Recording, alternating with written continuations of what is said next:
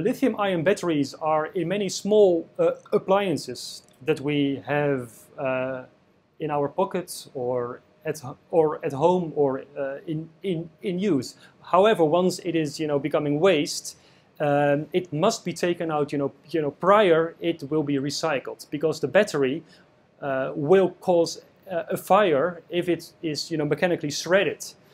However, in many cases, uh, the design of, of that good is not, uh, is not such that it can be easily taken out. So therefore, you know, lithium-ion batteries are of you know, particular concern because it must be taken out because it will cause fires.